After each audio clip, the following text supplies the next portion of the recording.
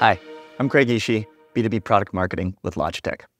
Achieving a seamless hybrid work experience means adapting the familiar practices we were accustomed to when working in person to the hybrid work environment. That is why today we are excited to announce that Logitech Scribe is now available for Microsoft Teams rooms on Android. Now, today we're going to take a look at how to enable this Scribe as a content camera, but also how to share content during meetings. And in this room here, we're outfitted with a rally bar, a tap IP, a display, and of course, the star of the show, right above me, Logitech Scribe. Let's take a look. Now, the first thing we're going to need to do is designate Scribe as the preferred content camera for this room.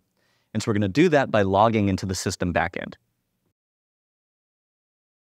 Now, once we're in the system backend, we're going to select System from the Tap IP tab.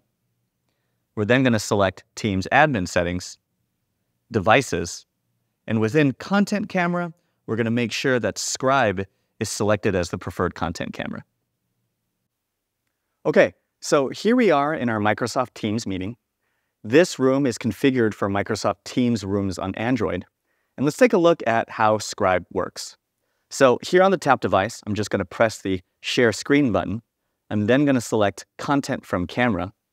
And now you'll see the whiteboard that's here in this room is being presented right here during the meeting. But what I also want to do is I'm going to end the share here. And I'm going to walk over to one of the coolest parts that we love about Scribe. We're going to just wait for the camera to refocus here for just a second. And that is the purple button. This comes included with Scribe. If I press this button here, same thing, I get the projection right here to the meeting. Now, before we end the video, I would be remiss if I didn't share some of the really cool features that Scribe has built into the camera. The first is, even though I'm standing here, and even though I'm writing something, let's write test here, you can see that we have presenter transparency, meaning that my body, my hands are being shown as transparent so that the remote participant can still see what's underneath on the whiteboard. The other great part is color enhancement. So you can see that both with the dry erase markers, as well as the post-its that are being put here on the board, they're really contrasted well and shown to the remote participant very, very clearly. And that's one of the features that Scribe has in capturing the board. And so that's Scribe on Microsoft Teams Rooms on Android. Pretty cool stuff. Welcome to the new logic of work.